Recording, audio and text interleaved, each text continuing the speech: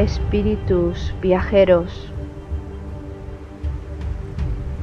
Os damos la bienvenida y os invitamos a uniros a esta caravana espiritual.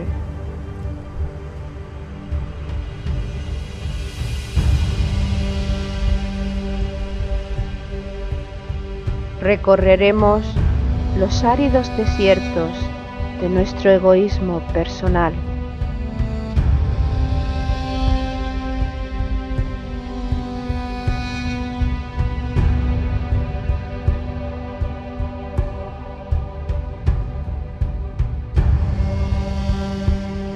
Navegaremos sobre las aguas de los mares y océanos creados por nuestras emociones.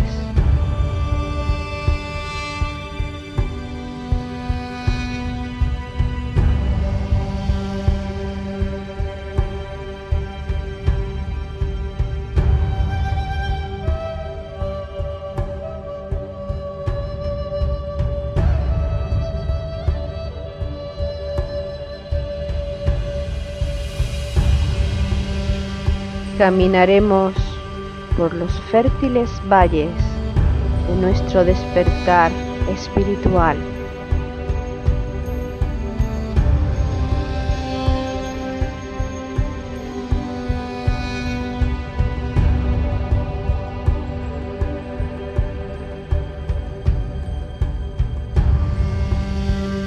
Iniciaremos el ascenso a la montaña sagrada la morada de nuestro espíritu.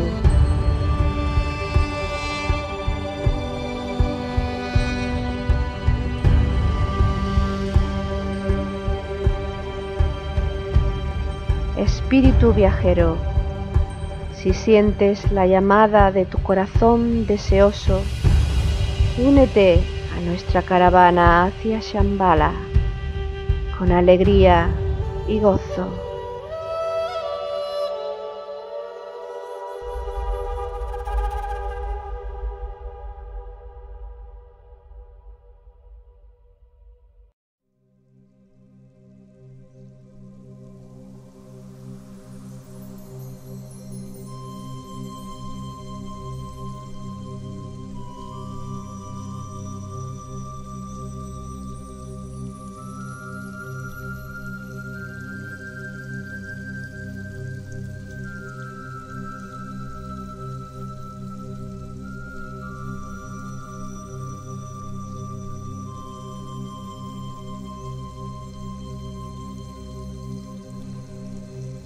Hubo un hombre enviado de Dios.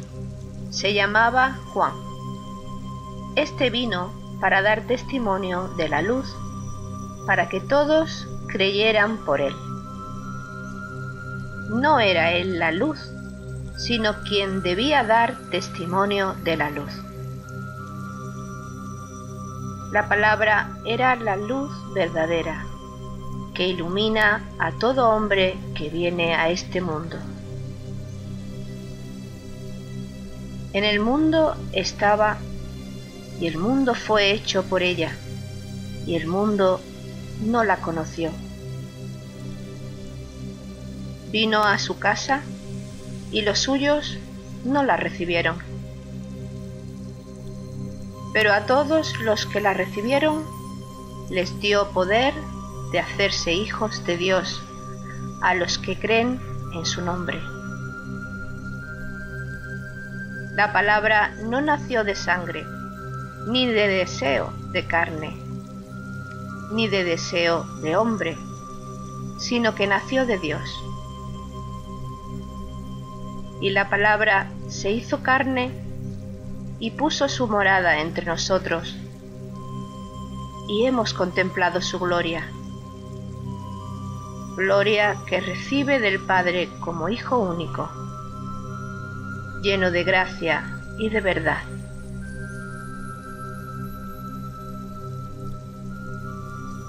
El evangelista Lucas, en el prólogo de su Evangelio, capítulo 1, versículos 6 al 14, describe cómo Juan el Bautista fue enviado por Dios para que diese testimonio de la luz verdadera convertida en la palabra. Aquella palabra por la que fue creado el mundo y que éste no conoció. La palabra encarnó en el mundo y no nació de sangre, ni de deseo de carne, ni de deseo de varón, sino que nació de Dios. Jesús vino a su casa y los suyos no le recibieron, pero quienes sí creyeron en él, recibieron el poder de hacerse hijos de Dios. El Padre Creador envió a su Hijo único, Jesús el Cristo, lleno de gracia y de verdad, para enseñar a los hombres el camino de salvación a través del amor. Oremos al Padre, para que en nuestros corazones nazca el niño Jesús y nos conduzca a nuestra verdadera morada.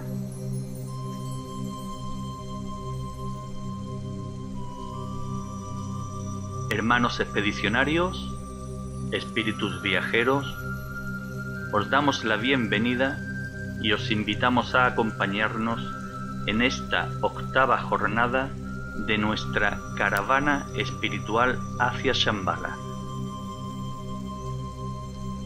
Organizan la caravana Loli Bermúdez y Paco Ortiz.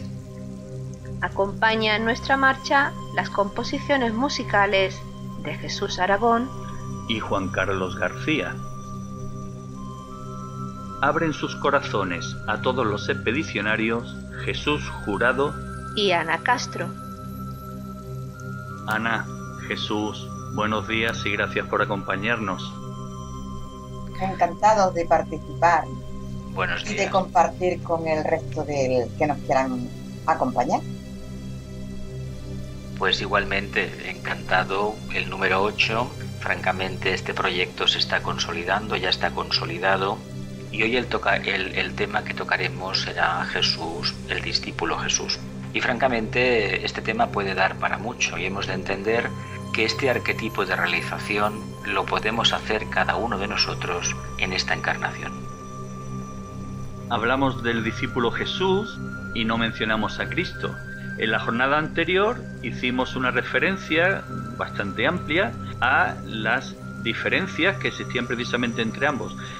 Para entrar en materia, ¿podríamos hacer un pequeñísimo resumen del, de lo anterior?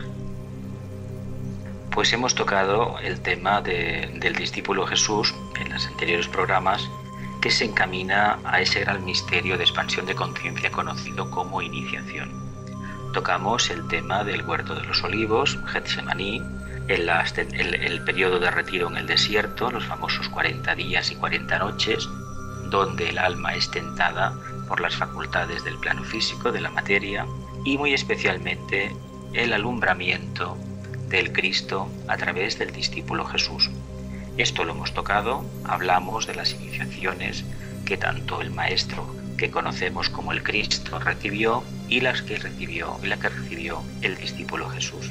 Y hoy nos vamos a centrar exclusivamente en Jesús el discípulo, porque el aspecto de la conciencia crística desarrollada ya lo tocamos en anteriores programas. Puesto que hoy nos centraremos en, en Jesús el discípulo, es conveniente hacer una pequeña reflexión en el sentido de que durante estas jornadas desarrollaremos una visión genérica de, la vida de Jesús, su nacimiento, su infancia, la preparación que el discípulo recibió para poder manifestar a Cristo en su interior, la vida pública de, de Cristo, su pasión y resurrección. Y todo esto en conjunto debemos considerar, y es muy importante hacerlo, que representan simbólicamente el proceso que cada ser humano debe seguir para alcanzar la purificación plena, para manifestar a Cristo en su interior. Pues entremos en materia. El discípulo Jesús. Mm, dos programas anteriores, cuando hablamos sobre la reencarnación, hacíamos referencia al hecho de que cada vez que encarnamos, nuestra alma eh, elige un propósito de vida, elige unos padres, etcétera, etcétera Es decir, nuestra alma lleva un bagaje recorrido de miles y miles de años. Por lo tanto, nos podemos hacer la pregunta de ¿quién fue realmente Jesús, ese alma que encarnó en Jesús? ¿Quién era? ¿Se sabe algo de sus vidas pasadas? Pues parece ser que a Jesús se le relaciona con otra serie de personajes, por llamarlo de alguna manera.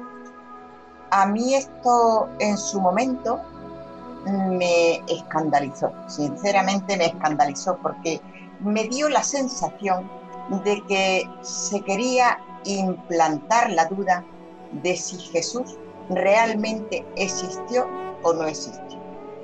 Afortunadamente, ese descontrol que tuve en mi interior me sirvió para mucho porque profundicé en el tema y parece ser que Jesús, entre otros, parece que también fue Apolonio de Diana. Parece ser. He llegado a una conclusión después de, de tener montones de dudas y no saber ya exactamente qué es lo que tenía que hacer, a qué me tenía que aferrar. Ahora veo que no me tengo que aferrar absolutamente a nada, pero sí tener las ideas muy claras. Una idea que a mí me ha servido en este sentido es la de ser muy consciente que cuando decimos todo es energía y todo es espíritu, se nos está diciendo que todas las formas no son en realidad lo que aparenta, sino la esencia que es el espíritu. Luego, a través de las vidas, y Jesús como ser humano atravesó las vidas que cualquiera de nosotros podamos vivir hasta llegar a la perfección, pues Jesús tuvo que tener que interpretar, que vivir distintos personajes con distintos nombres, distintas profesiones, etcétera, hasta conseguir esa tercera iniciación que parece ser que es la que tenía cuando la energía crística encarnó en él. Luego, para mí es una tranquilidad y una seguridad saber que por encima de la figura de Jesús está que es espíritu, que es energía, al igual que cada uno de nosotros, y que pudo representar a muy distintos personajes a través de sus distintas vidas. Hay una regla interna en las logias que habla de que cuando uno entra en el proceso de expansión de conciencia, en el proceso iniciático, en el que, el que entró el discípulo Jesús, su pasado queda completamente relegado a la nada, no existe. Lo único que importa es el punto de desarrollo alcanzado y el trabajo que se va a realizar en ese momento. Tanto es así que esto representa una analogía con el resto de nuestras anteriores encarnaciones. Claramente no las recordamos. Y no las recordamos porque el trabajo del alma en esta encarnación es desarrollar determinado tipo de cualidades. Y esas cualidades se van a desarrollar olvidándonos precisamente del pasado. Como se trataba de un gran discípulo, se puede especular mucho quién fue anteriormente. Lo importante es que estaba en una tesitura importantísima para la humanidad. Evidentemente también para él, pero no olvidemos que el discípulo no tiene vida privada. Toda su conciencia, toda su voluntad está encaminada al bien de la humanidad.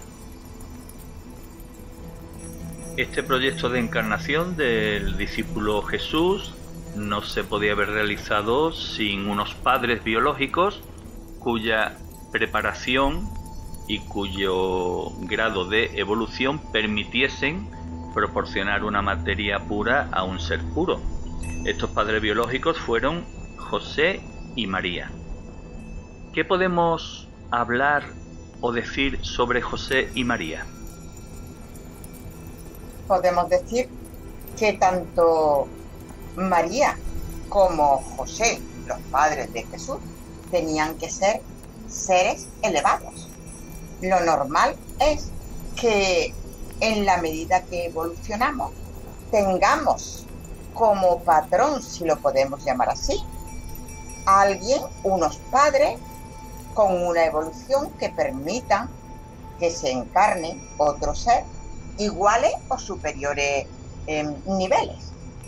Entonces yo pienso que tanto José como María tenían que tener una preparación, un nivel de conciencia que permitiera que Jesús encarnara en esa familia.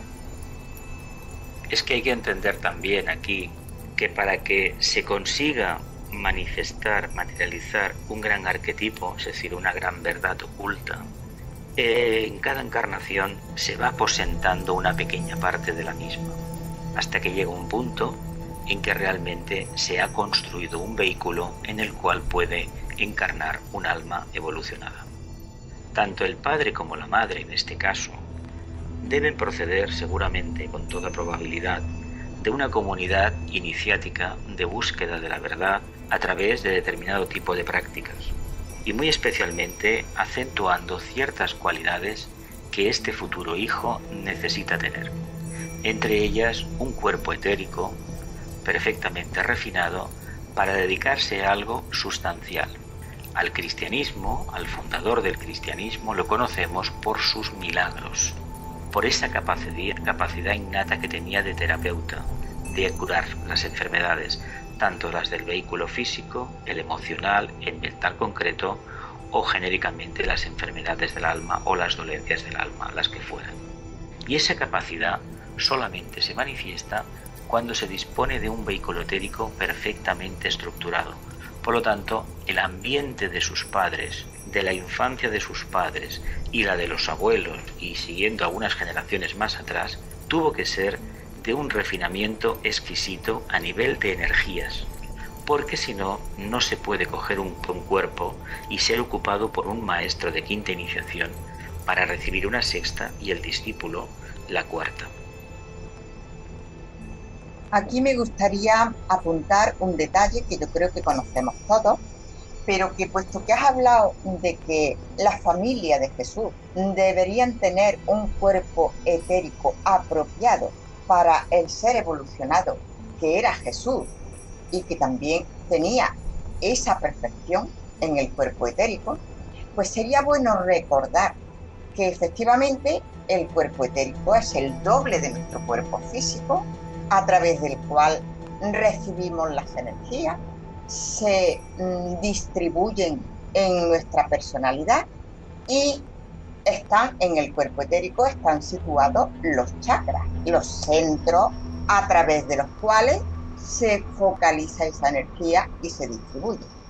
Sería bueno recordar que este despertar de los centros, esta perfección de los centros, solo se consigue por la evolución del ser humano. Así nos lo dicen los maestros, pero sin embargo hay enseñanzas bastante extendidas que hablan de despertar chakra, de desbloquear chakra. Entonces, ¿es posible o no es posible? Yo no lo sé, no lo sé porque nunca he querido saber nada que no sea el proceso evolutivo. Pero, aun siendo posible, estaríamos contraviniendo las leyes divinas, que es la ley de evolución, la que nos permite alcanzar distintos niveles de perfección. Luego, si nosotros contravenimos las leyes divinas, de momento habremos conseguido determinadas cosas, pero luego vendrá la ley del karma que nos obliga, o mejor dicho, nos permite rectificar esos hechos erróneos mm, sin respeto a la ley divina y que normalmente rectificamos con dolor. Me parece importante que lo tengamos en cuenta. Hay una evolución y la hemos de respetar. Y esta evolución nos dice que para que el alma para este caso el discípulo Jesús, pudiera hacer su preparación, debía disponer, aparte de un vehículo mental organizado, estructurado, no olvidemos que él llegó a ser rabino, según cuenta la tradición, los rabinos en la religión hebraica se caracterizan por una inteligencia bastante elevada, y por una capacidad de memorización muy elevada, por haberse pasado horas, días, años estudiando los libros sagrados. Entonces, esta capacidad él la tenía construida, su vehículo emocional estaba abocado precisamente al cumplimiento del deseo del alma de manifestarse. Pero claro, necesitamos contactar con el plano físico, el plano karmático por excelencia, donde se dirimen todas las batallas y donde se generan todas las causas que después deberemos deshacer positivamente. Y aquí, si no se dispone de un sistema nervioso, de un sistema endocrino, de un sistema glandular, como bien has dicho tú, de unos chakras, de unos vórtices energéticos perfectamente orientados a la luz, esta persona o este candidato, el discípulo Jesús en este caso que hablamos, no hubiera podido realizar su trabajo. Por lo tanto, entendamos en cuenta que la pureza que tantas veces recurrimos a ella para hablar de estos grandes seres, se consigue purificando las emociones por un lado, pero básicamente por tener una vida plenamente correcta, organizada, porque aquí el vehículo etérico influye muchísimo. Si nosotros nos dejamos arrastrar por nuestras emociones, lo más probable que del chakra plexo solar surja alguna sustancia que acabe afectándonos al páncreas y a todo lo que conocemos la zona periférica, el intestino, bazo, eh, hígado, etcétera, etcétera. Sepamos que todo lo que nos sucede en nuestro campo de expresión, en nuestros vehículos, está ligado a esos chakras. Por lo tanto, si el avatar, el futuro avatar de la humanidad, quiere trabajar el centro cardíaco, la conciencia crística, ha de entender que lo primero que se ha de hacer es transmutar el deseo en aspiración. Seguramente que el discípulo Jesús esto lo sabía, y cuando se prepara para la iniciación final, famoso Getsemaní, cuando se prepara, ahí se inicia un auténtico proceso de transmutación. Proceso que ojalá, ojalá muchos más seres humanos pudieran realizar, porque eso indicaría que tendríamos el suficiente campo de energético positivo para dar un vuelco a muchas de las situaciones que hay en el mundo actualmente.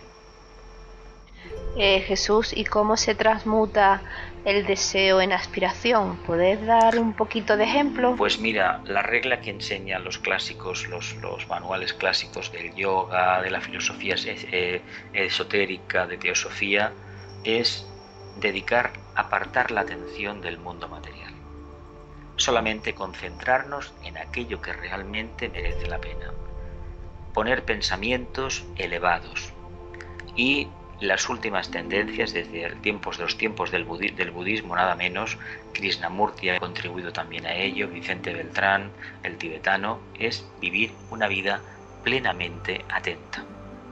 Si practicamos la atención, si somos conscientes de lo que hacemos todo el día, evidentemente va a ser una perfectísima meditación.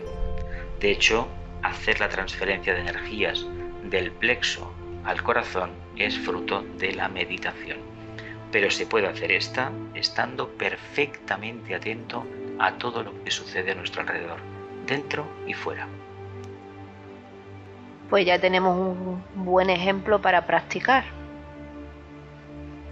Volviendo al proceso jerárquico de, venida al mundo del avatar Jesús, como proceso jerárquico tutelado evidentemente, se consuma gracias a la elección de unos padres que tienen un papel fundamental en la vida del discípulo.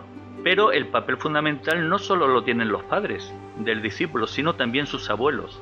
Resulta que la, su madre, María, quienes la engendraron fueron Joaquín y Ana. Y en la vida de Joaquín y Ana, según narra las escrituras, existe un paralelismo con la vida de José y de María, puesto que Joaquín era anciano, su mujer Ana era estéril y, curiosamente, fue también un ángel el que se les apareció y le dijo a Ana que concebería y pariría una hija que tendría un papel muy importante puesto que eh, engendraría en su día a un, ser, a un ser de luz. Tal fue el impacto que se provocó en ellos que la madre eh, decretó, por decirlo de alguna forma, que tanto si fuese hombre como mujer quien naciese de su vientre sería consagrado en, eh, en el templo. Respecto a, José, se da la particularidad de que él en un matrimonio anterior había tenido cuatro hijos y enviudó. Y como María estaba consagrada en el templo, pues eh, hubo de alguna forma que protegerla, darle un varón protector. Y la elección se hizo entre todos los viudos que, que había allí en la población. Y ocurrió pues otro milagro, que en esa elección cada, cada anciano fue con su vara, con su callado, y resulta que el callado que portaba José, de este callado, mejor dicho, sobre este callado se posó una paloma, lo que fue la señal de que José estaba destinado a proteger a la Virgen del Señor. Todos estos hechos son hechos que extraemos de los evangelios apócrifos y hay que recordar que los evangelios apócrifos no desmerecen en nada a los evangelios canónicos. Es más, es posible que parte, que muchas de las informaciones que se transmiten en los evangelios apócrifos tengan mayor, vera, eh, mayor veracidad que los que se transmiten en los evangelios canónicos.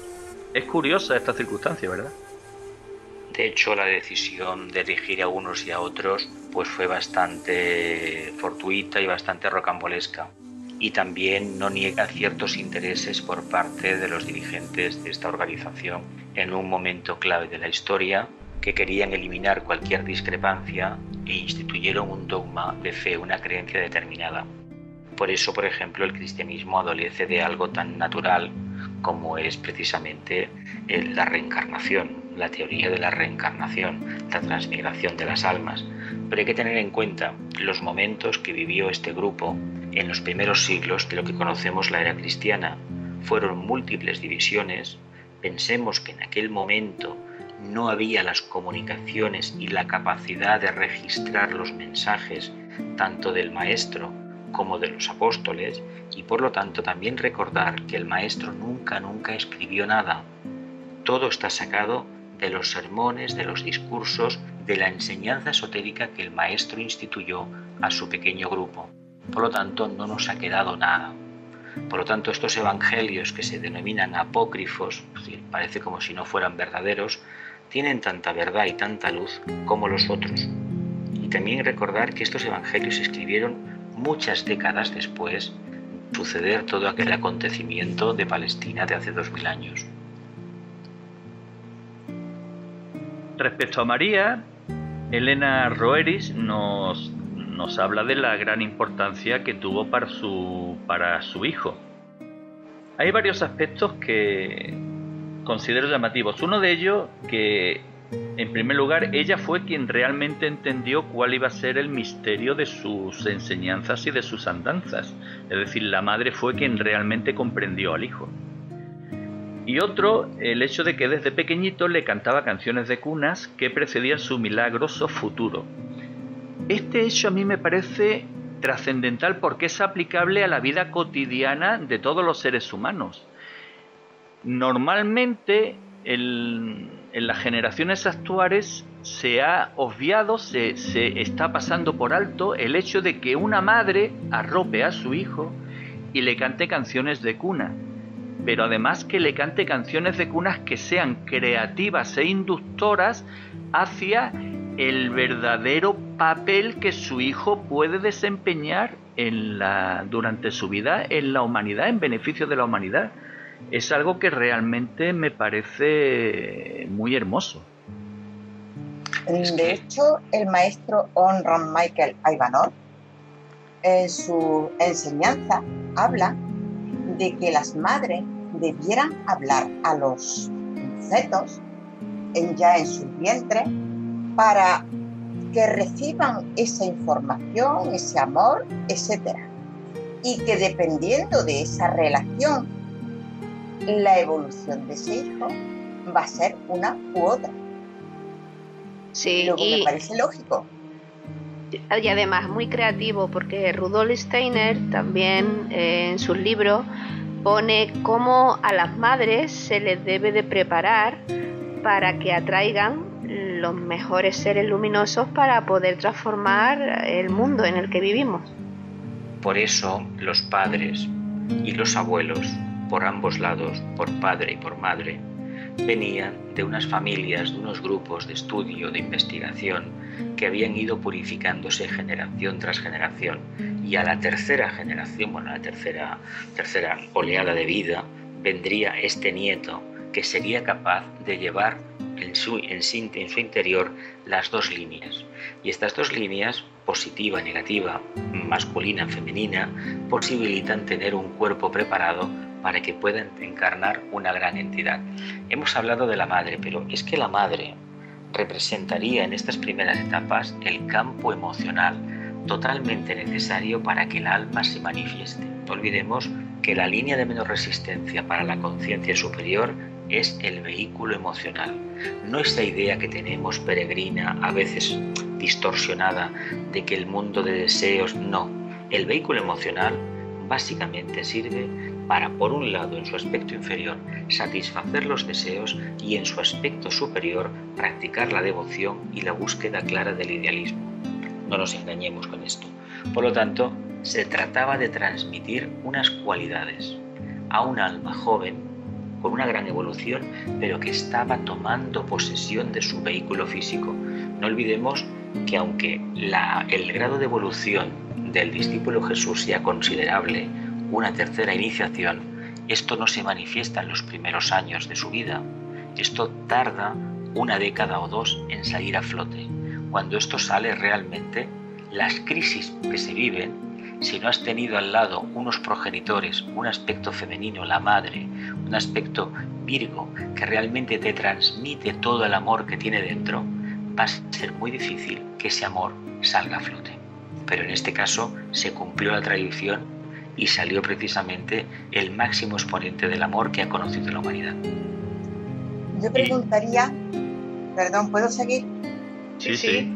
Eh, yo preguntaría, eh, dado este análisis que estamos haciendo, si realmente la situación actual del mundo es propicia para que los hijos reciban esos cuidados y atenciones de los padres.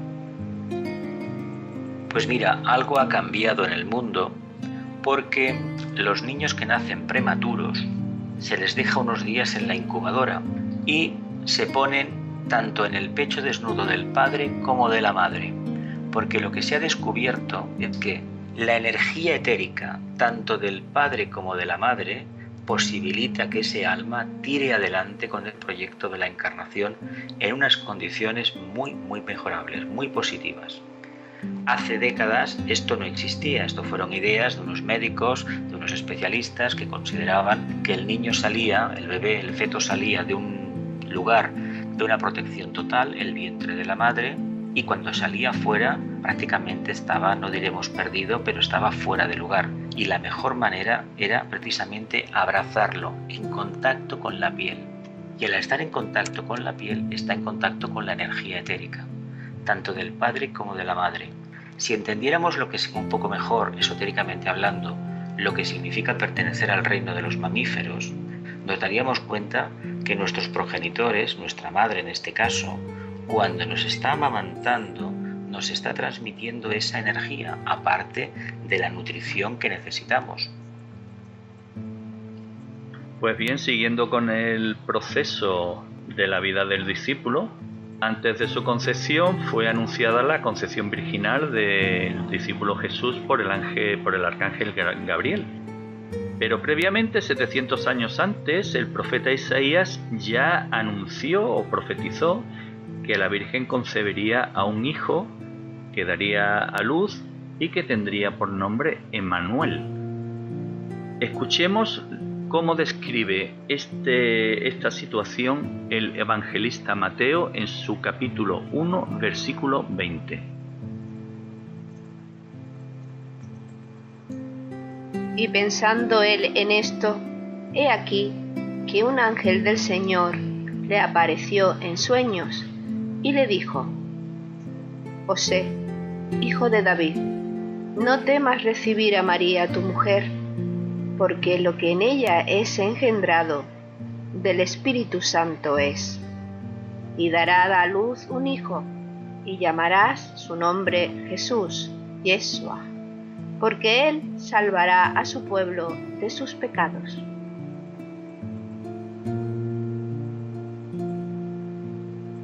Concepción virginal de María, perdón, concepción virginal a través de María del discípulo Jesús, que sin lugar a dudas es posiblemente el tema más controvertido en el seno de la fe cristiana. Yo diría que la concepción virginal puede tener distintos conceptos. La virginidad implica pureza. Y si los padres, la madre de Jesús, mm, debían ser adecuados a ese hijo que iban a hacer, pues no me cabe duda de que la Virgen fuera pura, la Madre María fuera pura. Ahora bien, parece ser que aquí la virginidad se está hablando como el sentido sexual. Es posible y a mí particularmente me da exactamente igual, porque Jesús, María, José y todos nosotros estamos sujetos a las mismas leyes por las que se rige el universo. Y hoy por hoy los nacimientos intervienen hombre y mujer en el género humano y efectivamente es por medio de la sexualidad. Ahora bien, ¿qué otras características puede haber en este nacimiento? No lo sé, pero a mí me basta con saber que Jesús cumplió su misión, que vino a enseñarnos el camino, que dio un gran testimonio, que su madre también lo dio y con eso me basta. Lo demás, y en espiritualidad lo tenemos que tener muy en cuenta, cosas absolutamente firmes, no podemos ni debemos tener ninguna. Las cosas absolutamente firmes son los dogmas. Y nadie nos puede imponer, ni podemos imponer a nadie una creencia. Lo importante es que la misión se cumplió, que Jesús, la huella de Jesús está ahí la cumplamos mejor o la cumplamos peor, y para mí con eso me va. Eh, yo añadiría a todo esto que acabas de decir, Ana, que el tema de la, de la pureza y de la virginidad viene básicamente de una mala interpretación. No hay ningún pecado en que los seres humanos hayamos nacido fruto de una relación sexual. Lo que se nos quiere decir en estos textos es que no había un deseo se hacía el acto sexual y se hacía como eran pertenecían a una comunidad iniciática, una comunidad de terapeutas, que en determinados momentos del ciclo, en determinados momentos de determinadas alineaciones planetarias y de estrellas, para traer los mejores augurios al fruto de esa relación. Por lo tanto, no era algo dedicado, relegado al mundo del deseo banal. No era eso era un acto de servicio a la humanidad. Y se nos insiste mucho que el Padre era una persona mayor, anciana. ¿Qué se nos está diciendo con esto? Pues que era una persona sabia, ni más ni menos. La tradición oriental, los hindúes, los hindúes hablaban en sus libros sagrados de que los primeros años hay que construir un carácter, hay que casarse, hay que tener familia, hay que cumplir con los fuegos de la naturaleza, los fuegos inferiores, y cuando se alcanzan los 50 años, cuando esotéricamente empieza a aparecer el signo ascendente, el que manifiesta la luna en la carta astral, en ese momento había que retirarse precisamente al estudio sagrado. Es evidente que en muchas tradiciones, cuando se alcanza determinada edad, tanto el hombre como la mujer suelen ir con más frecuencia al templo para escuchar la palabra divina. ¿Por qué?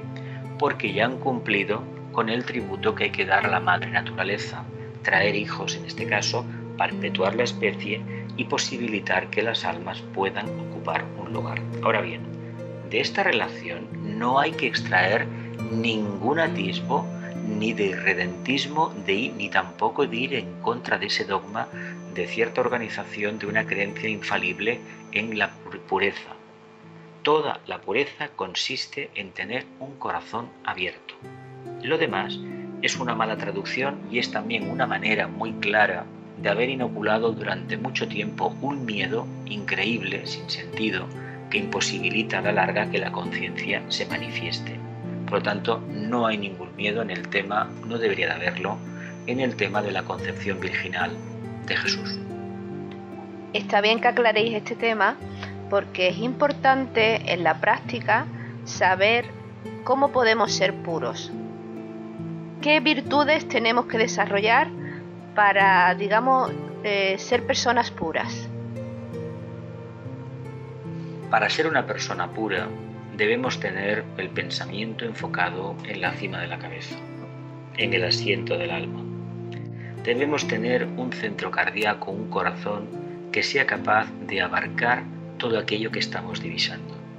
El Cristo ha sido el único, el único que ha podido desarrollar un corazón que abarque toda la humanidad. Claro, no es nuestro caso, pero si pudiéramos en el día a día incluir en nuestro corazón a todas las personas con las que compartimos el trabajo, la familia, los amigos más allegados con los que estamos más en contacto habitualmente, estaríamos desarrollando el corazón y deberíamos entender automáticamente que exige una buena dosis de adaptabilidad. Y entendamos entonces que en el día a día y en pequeñas proporciones vamos construyendo esa capacidad para poner fin a esta reflexión, habrá quien se pregunte, bueno, ¿cómo se puede realizar una cópula sin deseo? A este respecto, Kabalev, en su libro Interpretación esotérica de los Evangelios, da una explicación que sinceramente me parece muy, muy correcta y muy creíble. Y es el hecho de que cuando se produce la salida de los rayos del sol, en los hombres se provoca una reacción en el órgano masculino de tensión.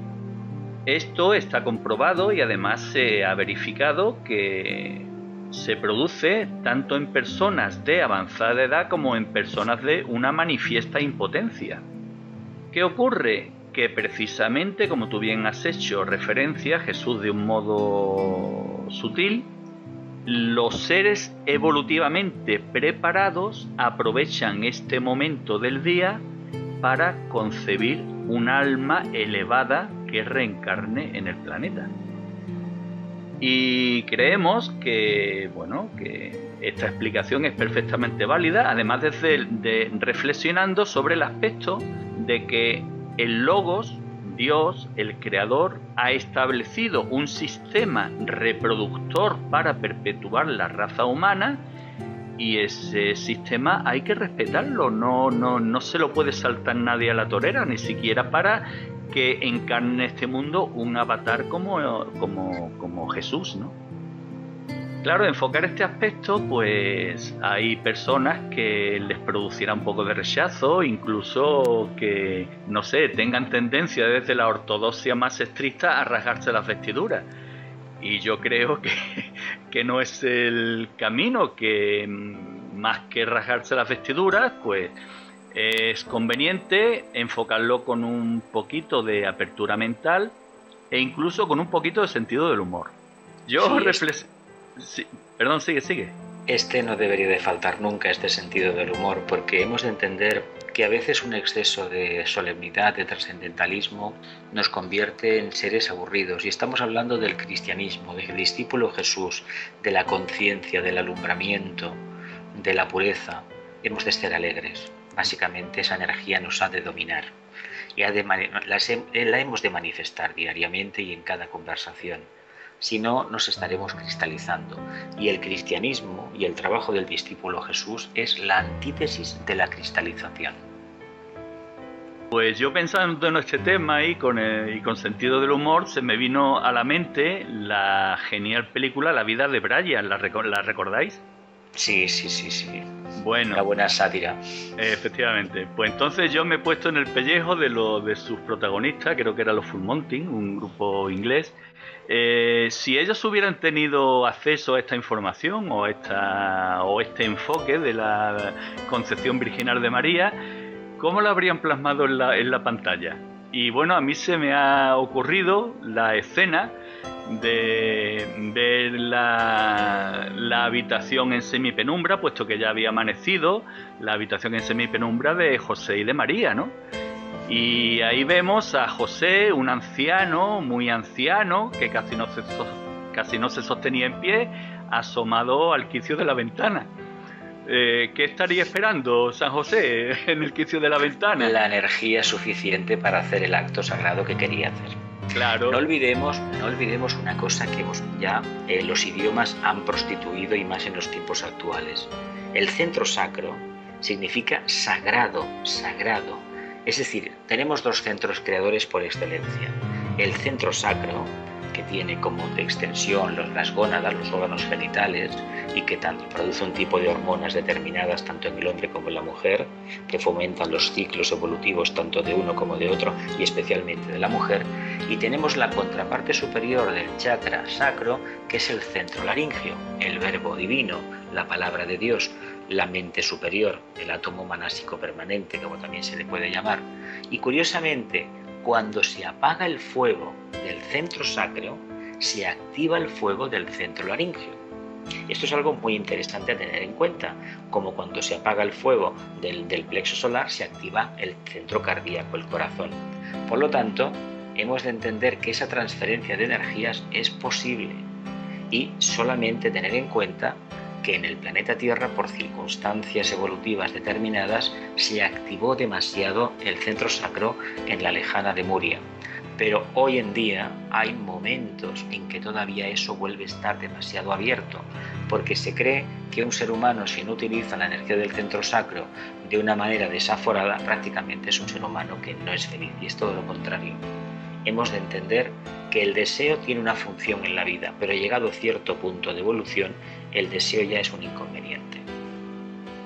Pues siguiendo... Y parece ser que cuando esa transferencia de energía del sacro al chakra laríngeo, en donde interviene directamente el tiroides, parece ser que se la, enfermedades. Y sin embargo, yo creo que, claro, si esa transferencia de energía se produce, lógicamente la actividad del sacro disminuye y la creación de la palabra aumenta. Y la palabra es creadora. Que desde, ya en el principio, las lecturas que habéis hecho, había estado hablando de la función de la palabra y del verbo, de la creación del verbo a través, o sea, a través de la palabra se ha realizado la creación. Luego, el chakra laringeo es importantísimo. Si nosotros nos estancamos en los centros inferiores, no dejamos, no transmutamos la energía a los centros superiores. Pues para, para finalizar, después de esta extraordinaria reflexión que habéis hecho los dos, eh, finalizo yo con la, con, la, con la escena final, ¿no? Una vez que José eh, recibe ese aporte de energía, pues eh, el hombre se vuelve hacia María con una sonrisa que le llega de oreja a oreja y como que le hace un gesto afirmativo, ¿no? Y entonces ahora María coge y da la, digamos, la interpretación de la anunciación que le hizo el arcángel Gabriel en el sentido de una reflexión en voz alta en la que dice, pues va a ser que lo que me había dicho Gabriel no era como yo pensaba, ¿no? es preferible el sentido del humor, repito, siempre, antes que rajarse la vestidura. ¿no?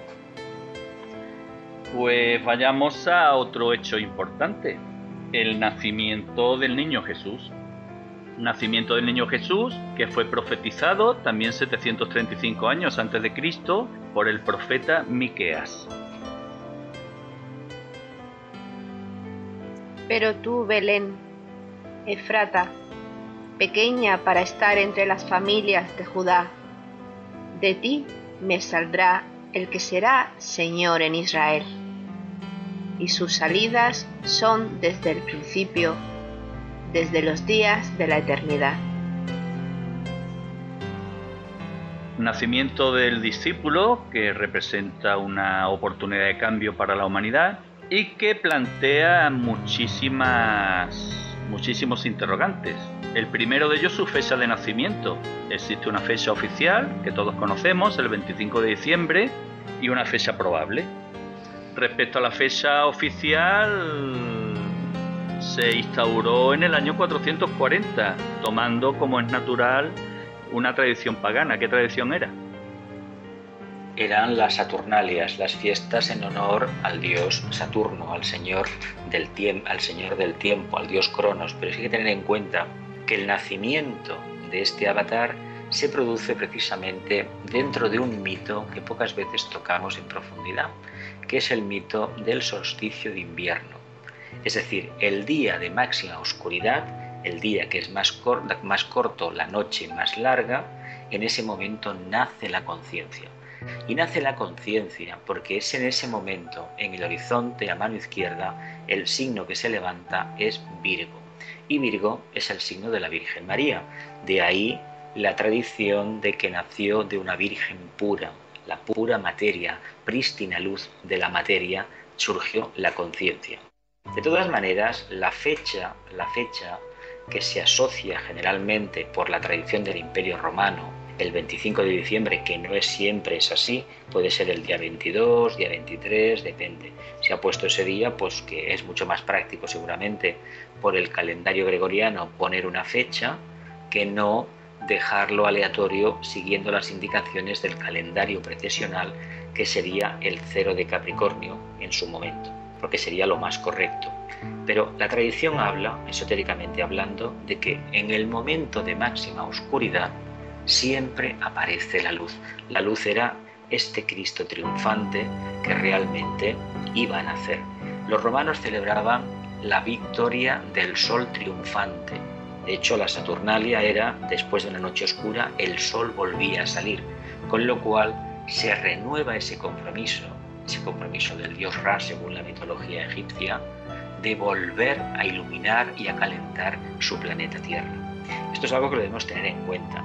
Pero luego se puede hablar más cosas de si realmente nació en ese momento o realmente nació en Aries. Hay muchos motivos para pensar que naciera en Aries, porque en Aries es el primer signo del zodiaco. Pero eso es un tema que podemos tocar más adelante.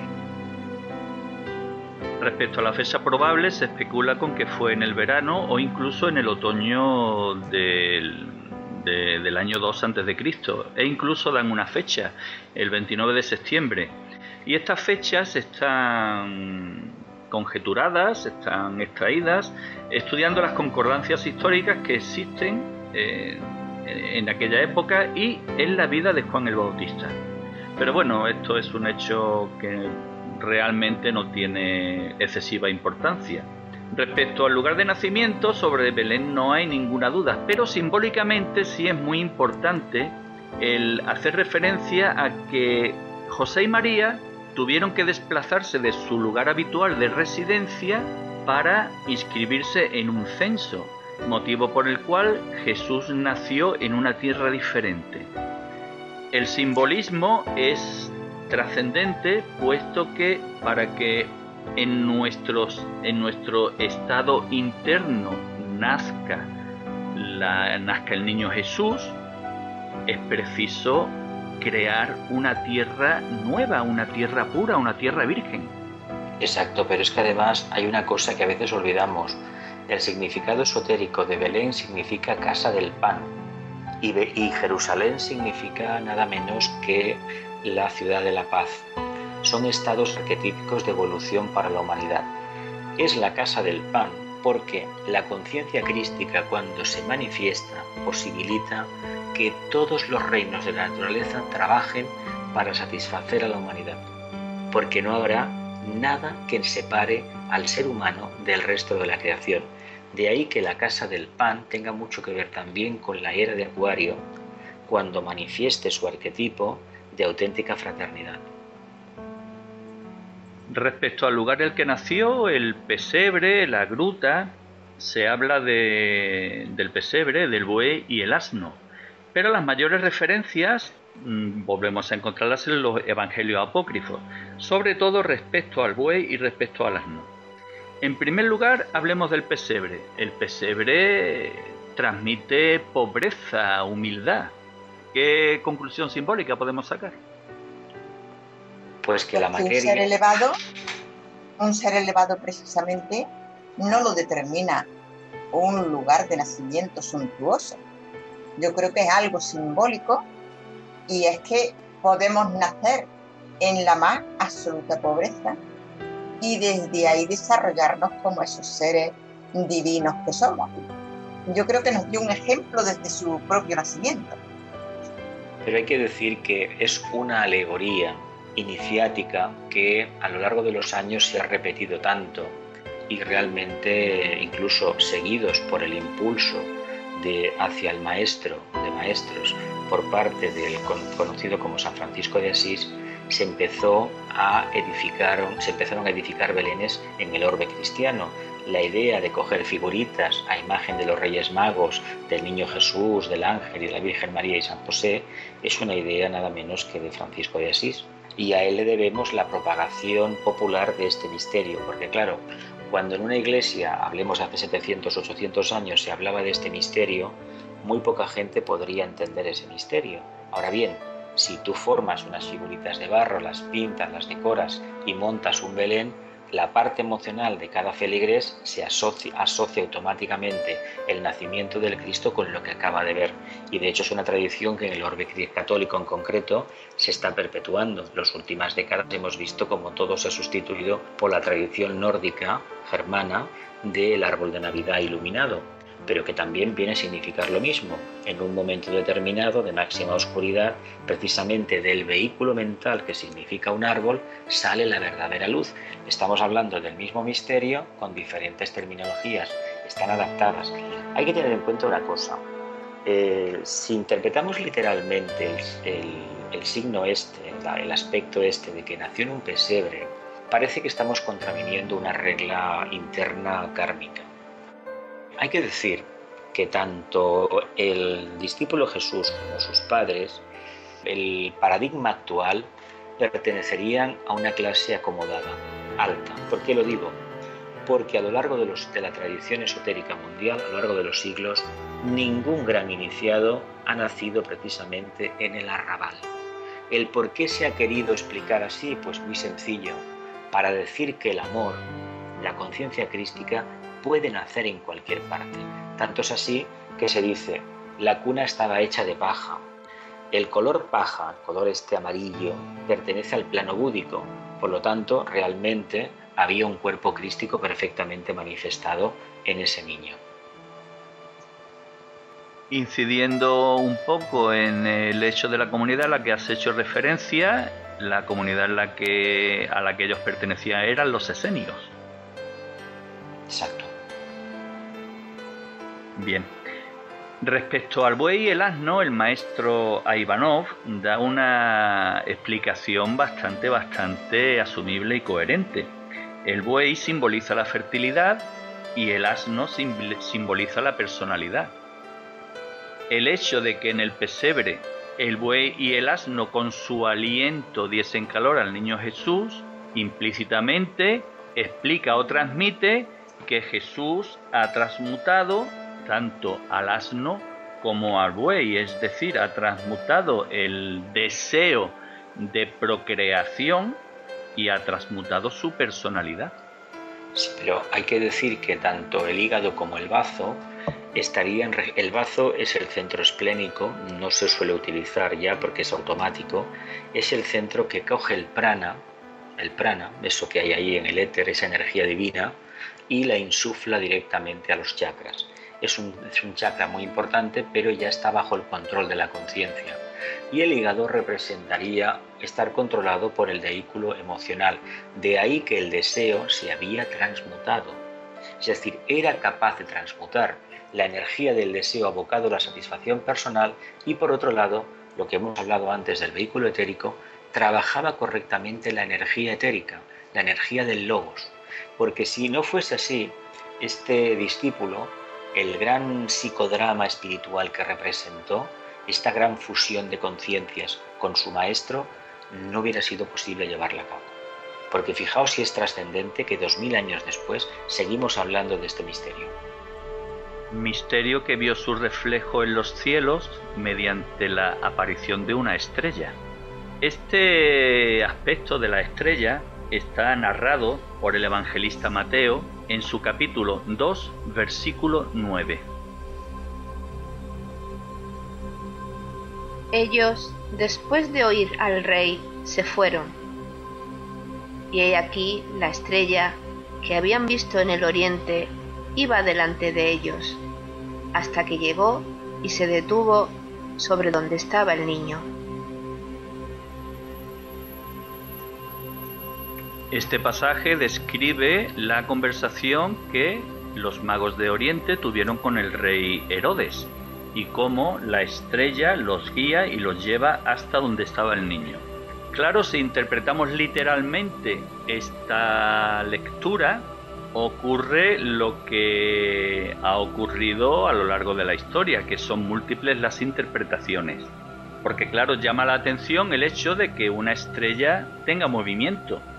El hecho de que los magos de Oriente mm, siguieran a la estrella, bueno, tiene una explicación cosmológica, es decir, la estrella se podía haber aparecido en el horizonte y ellos la, habrían seguido.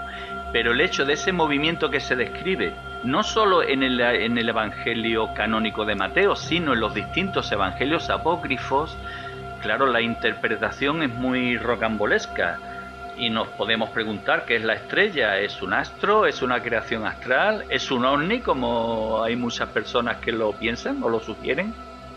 Pero es un símbolo, no, no cabe duda, que para el ser humano es un indicio del sol cuando hay oscuridad, es un guiño, un rayo de luz, un atisbo de Dios que es la guía. O sea, nosotros cuando, cuando hablamos de la luz, de recibir la luz, la luz de ser receptivo a la luz.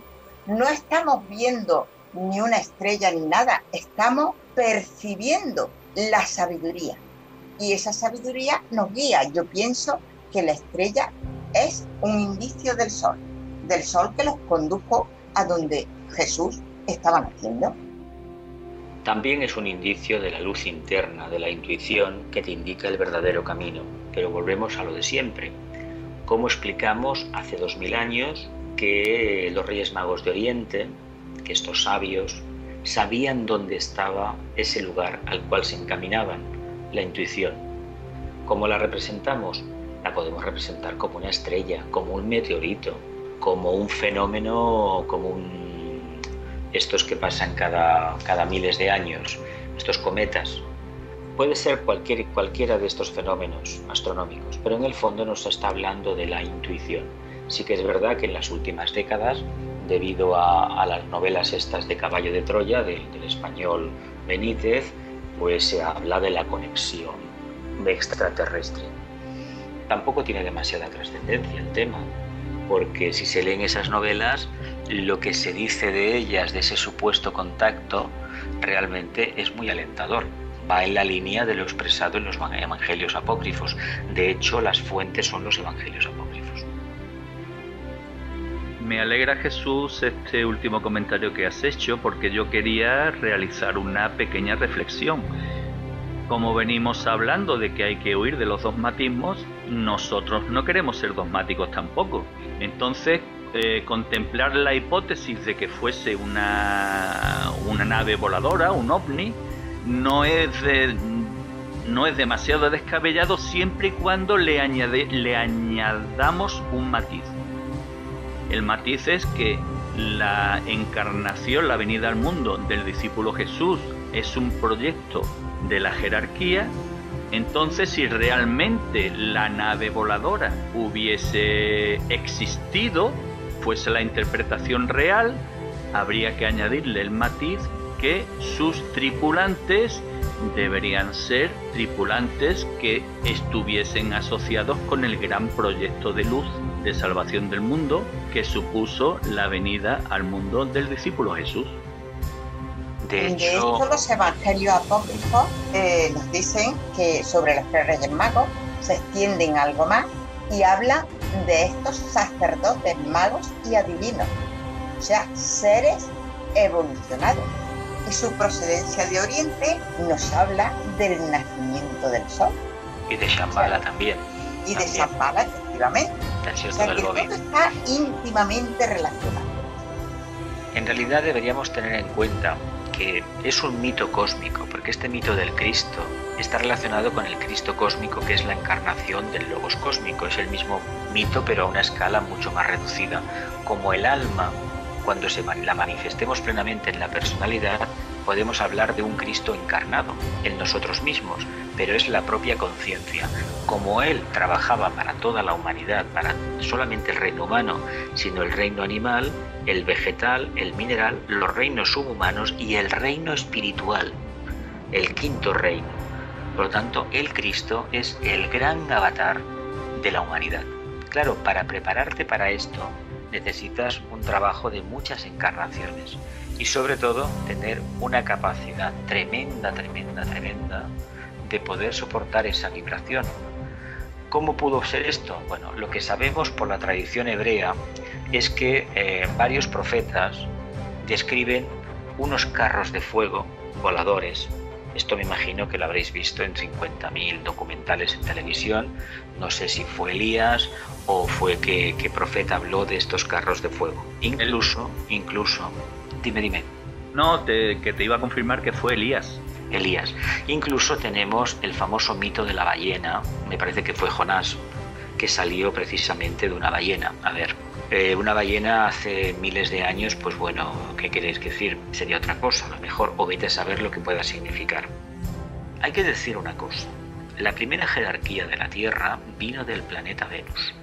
Hay alguna pintura de Horroric, me parece, si no recuerdo mal, que habla de una bimana, de una especie de platillo, sobre la zona de, los Himalayas o algo así. No sé si lo, recuerdo mal o no es de él, etcétera, etcétera. Igual tú lo sabes esto mejor. Por lo tanto, eso no nos tiene que preocupar demasiado.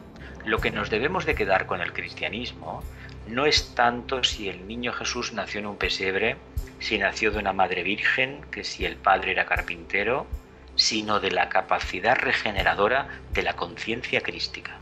No olvidemos que el cristianismo surgió como una secta, un grupo extendido del tronco hebreo. ¿eh? Y era una filosofía de vida, no era una religión organizada al uso. ¿eh? Era una filosofía de, de, vida como lo fue el budismo en su origen. Después se convirtió en lo que se convirtió, se reglamentó, etcétera, etcétera. Pero lo importante con el tema del misterio del discípulo Jesús y del cristianismo y del Cristo es vivir el lenguaje del corazón. La pintura a la que hace referencia Jesús es una eh, pintura que tiene por nombre la Orden de Rigdenjepo, es decir, el Señor de Shambhala. Ah, y eh, en esta pintura se ve mm, a Rigdenjepo en el interior de una cueva que es todo fuego, sus mensajeros a caballo que reciben la orden y marchan a todos los confines del mundo, y en la parte izquierda se ve en una posición inclinada de aproximadamente unos 75 grados en un color como marrón oscuro que resalta sobre los contornos que son contornos más, más ocres, más rojizos y se ve el contorno de lo que parece una, un avión, un avión futurista. Claro, esta pintura pues ha dado mucho que hablar y algunos discípulos de, del gran Nicolás Roeri sugerían la hipótesis de, por qué de modo encristado Nicolás pintaba esa nave ahí camuflada para, como, para que pasase desapercibida. Y precisamente en la obra en la que describe a Rick el señor de Shambhala. Claro, la hipótesis que lanzaban era, ¿realmente Nicolás tuvo acceso a los laboratorios y a las zonas en las que en las que existían este tipo de naves? ¿Realmente Nicolás Roeri realizó un viaje espacial?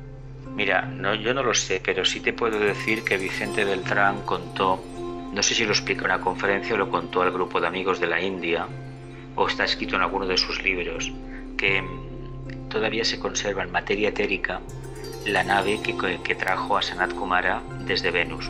Y también aparece, como describe el profeta Elías, unos grandes estruendos, fuego, etcétera, etcétera. Eso significa ni más ni menos que el despertar de un chakra, y el chakra que es en concreto es el chakra coronario, asociado al tercer ojo, el fuego, etcétera, etcétera.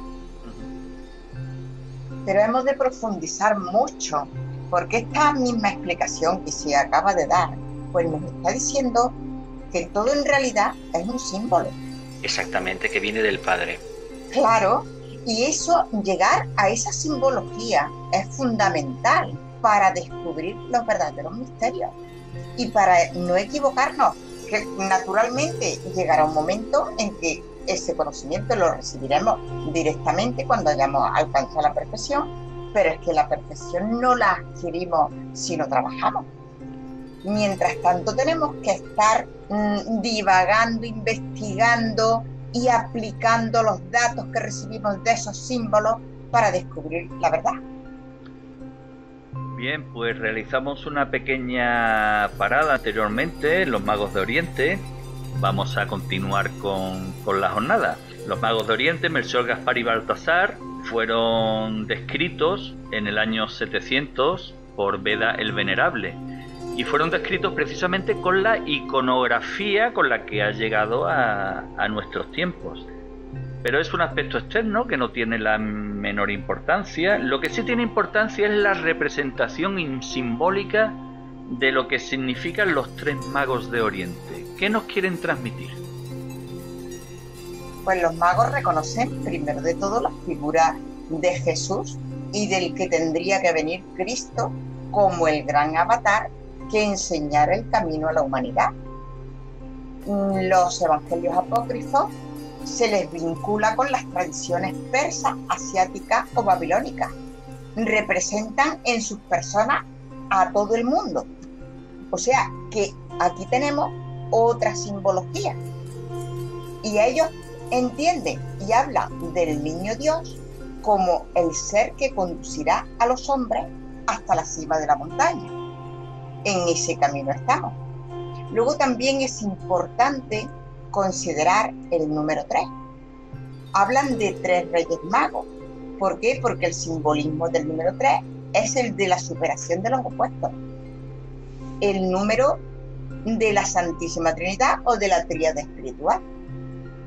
Y su figura nos anima a superar la oposición de las creencias hasta centrarnos en ese punto medio de equilibrio que es la verdad y en la justicia y en la sabiduría. Y ese número 3 también nos habla de tres grandes cualidades divinas, voluntad, amor, sabiduría e inteligencia activa y transformadora. Exactamente. Hay que decir que el tema de los, de los Reyes Magos volvemos al tema de antes. Si lo interpretamos literalmente, obtendremos un resultado. Si intentamos traspasar la forma, desarrollamos un poco el sentido esotérico, igual descubrimos que lo que realmente le traían estas entidades eran los tres vehículos a través de los cuales se iba a manifestar esa gran conciencia. Y los presentes iban en la línea de acelerar la evolución del vehículo mental, el emocional y el físico etérico. Puede ser válida, puede ser también válida la otra, la tradicional, del Melchor, el Gaspar y el Baltasar, que si rubio, que si blanco, que si moreno en el fondo nos está hablando de cualidades diferentes que necesitamos para tirar adelante este gran proyecto. Los tres regalos que le entregaron los Reyes Magos a Jesús, oro, incienso y mirra. Oro, símbolo de realeza, incienso, símbolo de divinidad, y mirra, símbolo de inmortalidad. Continuemos con la etapa posterior al nacimiento, la huida a Egipto. Huyen, de, huyen a Egipto José María en compañía de su hijo para huir precisamente de Herodes y de que fuese asesinado por los esbirros de Herodes.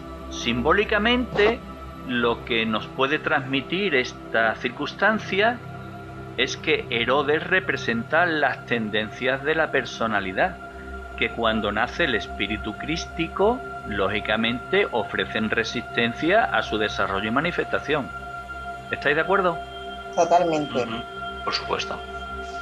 Totalmente porque él lo que en la propia vida tenemos los que queremos hallar el sendero, que cuando despierta nuestra conciencia y realmente nos comprometemos a hollar el sendero, percibimos muchísimas cosas que como que nos hacen huir ¿Por qué? Porque nos vemos en cierto peligro. Poco a poco nos vamos dando cuenta que no tenemos que huir de nada, que simplemente nos estamos alejando de los prejuicios, de los espejismos y estamos entrando en el mundo del espíritu. Y posiblemente ese pasaje nos está hablando de esa huida de lo material para reafirmarse en la vida espiritual que tenía que llevar Jesús. Nos centramos ahora en la infancia de Jesús. Para ello nos hemos apoyado en el Evangelio de Tomás, que posiblemente sea el más esotérico de todos los evangelios apócrifos. Y realizando una síntesis de este Evangelio, se pueden clasificar tres grandes etapas. Vamos a analizarlas. La primera de ellas es aquella en la que Jesús de niño va desarrollando sus poderes y realizando milagros, pero es un niño colérico que abusa de sus poderes y que causa daño a sus semejantes. Esto nos quiere transmitir algo. Nos quiere transmitir que el despertar de la conciencia, es decir, el niño todavía eh, inmaduro no sabe el poder real que tiene. Si los seres humanos supiéramos el poder que genera el amor, el verdadero amor, nos pondríamos a buscarlo dentro de nuestro corazón de manera inmediata. Creo, que sucede es que no creemos ese poder, que lo después lo poseamos y lo poseemos. No olvidemos que estamos hechos a imagen y semejanza del Creador, pero no tanto en el detalle porque no hemos podido todavía manifestarlo, no nos toca. Por lo tanto, cuando la conciencia despierta y la personalidad todavía es infantil, lo único que hace es daño. Es muy difícil dominar a esos potros desbocados, a esos poderes psíquicos, que son poderes del alma, poderes superiores, sidis superiores. Y él, como venía destinado a tener estas cualidades porque estaba preparándose para lo que iba a ser, dar a, que, a conocer nada menos que el mensaje crístico, esas facultades las tenía despiertas. La segunda parte de esta infancia hace referencia al reconocimiento que los demás hacen respecto a la verdadera naturaleza y sabiduría de Jesús. ¿Cómo lo describe Tomás? Pues dice que el maestro de escuela, Zaqueo, convenció a José para llevarlo a, la escuela a enseñarle. Y claro, la consecuencia fue todo lo contrario.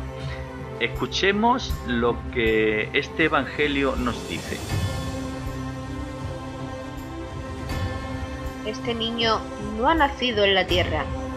Es capaz de domar el fuego mismo y quizá ha sido engendrado antes de la creación del mundo. ¿Qué vientre lo ha llevado? ¿Qué pecho lo ha nutrido? Lo ignoro. Yo quería tener en él un discípulo y me he encontrado con que tengo en él un maestro. Es algo muy grande, sin duda. Un dios, un ángel o algo parecido. Esto muy, muy, muy esotérico. Habla de un ser que tiene facultades, que controla los elementales, que controla el elemental del fuego, las salamandras, y que realmente ha venido a hacer un gran trabajo terapéutico. Y yo añadiría aquí, perdón, yo añadiría aquí, en esto que estamos hablando de los poderes de Jesús y de sus incontroladas actitudes en su infancia, que también nos quieren decir cómo no podemos intentar despertar poderes de ningún tipo. Los poderes se despertarán en el momento en que nuestra conciencia evolucione. Y es el momento correcto y oportuno porque estaremos preparados para saber actuar. Un infante no puede, no tiene conocimiento de causa para actuar correctamente con los poderes.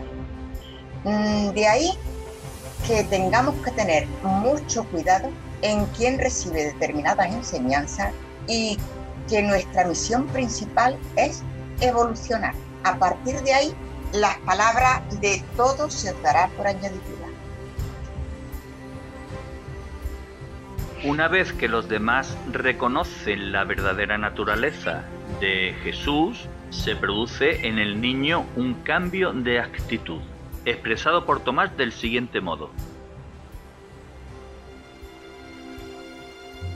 El niño rompió a reír y dijo, Ahora que tu aventura produce sus frutos y que los ciegos de corazón ven, he aquí que yo vengo de lo alto para maldecirlos y para llamarlos a lo alto, como me lo ordenó el que me ha enviado a causa de vosotros.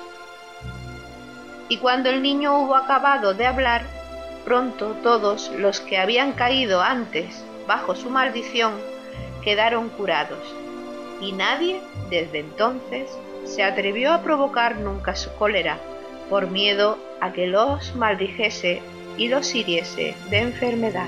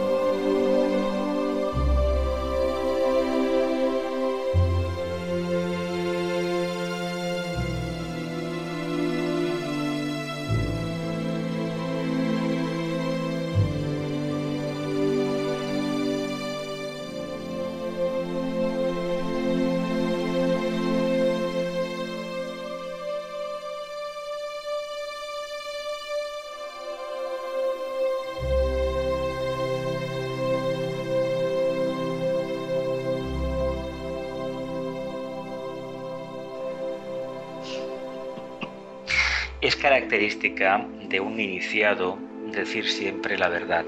Y la verdad, un iniciado no la suele maquillar. No olvidemos que él estaba hablando a un grupo selecto. Ese grupo selecto que iba a recibir ese mensaje en ese momento cuando era pequeño, estaba preparado para escuchar esa verdad. Por lo tanto, no hemos de inferir de este texto nada más que un mensaje directo. Y para finalizar con este Evangelio, la tercera parte es aquella en la que ya una vez que Jesús domina plenamente sus poderes, pues realiza una labor sanadora y benéfica para su comunidad. Vayamos ahora con el tema de Jesús y su actividad profesional. Él, como se suele decir, eh, sudó con su frente en el trabajo, era carpintero y alfarero. De hecho, las dos actividades que citas, carpintero y alfarero, están ligados precisamente con el mito de la construcción del vehículo causal, donde la conciencia crística se va a manifestar, es decir, lo más recóndito del ser humano. El mito del alfarero se pone siempre como ejemplo de cómo hemos de construir una personalidad, crear una vasija perfecta moldeada de forma armoniosa, etéricamente hablando, con los mejores anhelos y deseos y con los pensamientos más puros. Así, dándole el verdadero amor, la verdadera emoción, la verdadera capacidad intelectual y llenándolo de amor y aplicando el fuego de la mente, conseguiremos construir una vasija en la cual el alma pueda encarnar. Es una forma clara de hablar de precisamente de la encarnación y de la diferencia entre el alma y la personalidad. Si alguien ha probado a formar una vasija con un barro en un torno dándole con el pie, entenderá enseguida lo difícil que llega a ser eso si no se tiene suficiente práctica. Porque cuando se intentan hacer los primeros movimientos y ves al que está al lado que él enseguida levanta una vasija y tú te das cuenta que no eres capaz de transformar absolutamente nada. Y si lo consigues, o si el que te está instruyendo te deja que lo toques, automáticamente desmontas lo que ha construido. Esto indica lo complicado que es generar un carácter positivo para que un alma avanzada realmente se pueda expresar. Es un trabajo arduo, iniciático, de vida tras vida y al final tenemos esa capacidad. Si lo miramos en términos de pragmatismo, veremos que lo que consigue levantar precisamente esa vasija es precisamente la vivencia de la suprema armonía. ¿Cómo? Manifestándola dentro del conflicto de la vida diaria, pero no aumentando el conflicto, sino disminuyéndolo, manifestando amor y estableciendo puntos de encuentro, puntos neutros donde la energía negativa se pueda disolver. Pues ya para finalizar, trataremos otro tema controvertido, al igual que fue eh, controvertido el, el concepto de la concepción virginal de María, no lo es menos el hecho de que la vida oculta de Jesús, aquella de la que no se tienen referencias, a través de los escritos apócrifos se nos desvela que posiblemente desarrolló una vida oculta en Oriente. Esta tradición de la vida oculta de Jesús desarrollada en Oriente, en la India, en los Himalayas, en Nepal, se tiene conocimiento de ella en primer lugar a través del ciudadano ruso Nikolás Notovich, que en el año 1887 realizó un viaje e hizo una parada en el monasterio de Emis. En este monasterio uno de los lamas le enseñó unos manuscritos que él tradujo al francés puesto que estaban escritos en Pali, que era la, lengua original de Buda Gautama. Fruto de, estos, de esta traducción de los manuscritos que él realizó, escribió un libro, La vida secreta de Jesucristo. Los manuscritos fueron vistos posteriormente por diversas personas, entre ellos un discípulo de Ramakrishna, Swami Advenanda, que los vio en el año 1922 y los tradujo al, nepalí, al bengalí. Y la ciudadana suiza Elizabeth Caspini, que en 1939 los fotografió. Son las personas, digamos, más relevantes que han tenido referencia con estos manuscritos. Los manuscritos intentó localizarlos y verlos Nicolás Roerich en su viaje a Asia Central, pero no consiguió hacerlo. Pero sí en su libro Altai Himalaya describe un poco la historia de los manuscritos. En esta historia se habla de que Jesús salió de, Galilea con, uno, con una caravana, llegó a, a la India, allí profundizó en sus estudios, recibió instrucción y comenzó una vida pública. En esta vida pública tuvo muchos contactos con las castas inferiores, los Vaisas y los Sudras, y los instruyó. Lógicamente la instrucción que Jesús daba iba contra la ortodoxia de, la, de los brahmanes y contra la, la creencia en la, en la realidad de que las castas en la India pues eran así por obra, por obra divina, a lo que él lógicamente se opuso. Evidentemente ni a los brahmanes ni a los miembros ricos de la sociedad les gustó la idea, por lo que decidieron matarlo. Por eso él huyó a, a Nepal, también se dice que recibió instrucción en los Himalayas y que posteriormente viajó a Israel donde la historia ya más o menos la conocemos. Hay que decir que narran muchos pasajes, uno de los cuales lo describiremos en programas posteriores, que hace referencia a una alocución que hace Cristo, ya no el discípulo Jesús, sino Cristo, en Israel, una alabanza a la mujer bellísima. Y otra alocución que más que alocución es una tradición que hace referencia al hecho de que Cristo resucitó un cráneo de un gigante, estando en Asia. Mientras él iba caminando, Cristo vio el cráneo y pensó que pertenecía a un gran hombre, por lo que decidió hacer el bien y darle vida. Y la leyenda concluye con el hecho de que el gigante una vez resucitado agradeció a Isa, hay que decir que a Cristo en Asia se le conoce por Isa, el mejor de los hijos del hombre, pues el gigante una vez resucitado, agradeció a Isa que le hubiese dado vida para hacer el bien a la humanidad. Este tema de la vida oculta de Jesús en los Himalayas es muy controvertido, ¿verdad? La verdad es que sí, porque se sale del patrón ortodoxo occidental de circunscribir la, vida, pasión y muerte a Palestina, a esta franja de terreno en la parte oriental del Mediterráneo. Hay demasiados indicios, tal vez, o se puede especular al respecto, de que parte de la enseñanza suya de su preparación pudo ser perfectamente eh, ofrecida o bien en Egipto, lo que quedaba en la parte copta, en Etiopía, o bien en, la India. Es muy probable que sea cierto. Incluso en Oriente, en la ciudad del Sol, Rinagar, existe una tumba que consideran la tumba del profeta Isa. E incluso en Kasgar, que es eh, una zona, una vez que se atraviesan los Himalayas eh, y, se comienza la andadura por el desierto del Taklamakan, existe una tumba en un rozabal musulmán que es la tumba de María. Son dos aspectos que de alguna forma indican el gran valor y la gran relevancia que la cultura islámica le daba y le da al profeta Isa, a Jesús. Y lo que no cabe duda es que cuando se dice la verdad, nos creamos muchos enemigos. Y por eso tuvo tantos perseguidores. Pues, pues finalizamos nuestra jornada. Esperamos que no hayan sido enemigos los que nos hayamos creado con ella. Ah, esperemos que no.